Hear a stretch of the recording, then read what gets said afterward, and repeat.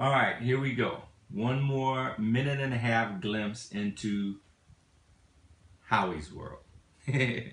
What's up? So listen, I'm gonna call this one MSNBC because pretty much you can pretty much bet when you come into my house or whatever when I'm off when I'm off on my off time I'm watching MSNBC. Sometimes I'll go to Fox because they say you have to keep your enemies close as close as you can.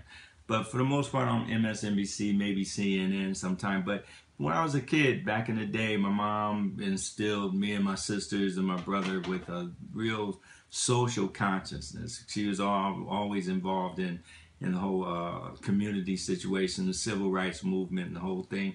And I pay a lot of taxes. I pay taxes, and and, and these politicians, they work for me. They work for anybody to pay taxes. They work for you. I had an opportunity one time at LAX to go up to Eric Cantor, uh, the congressman, I guess it was Congressman Eric Cantor, and I shook his hand. I said, I just want to let you know that you guys are doing a terrible job up there in, in Washington, D.C. Terrible job. I said, I'm, I'm, a taxpayer. I pay your salary. And I just want to let you know about the terrible job you guys are doing in Washington, D.C. But as a taxpayer and as somebody that's aware of what's going on, then I think it's important that we are very, very, very involved in our in our uh, community. And on another note, before I go, you ever checked out these seaweed things? It's good. Howie's World.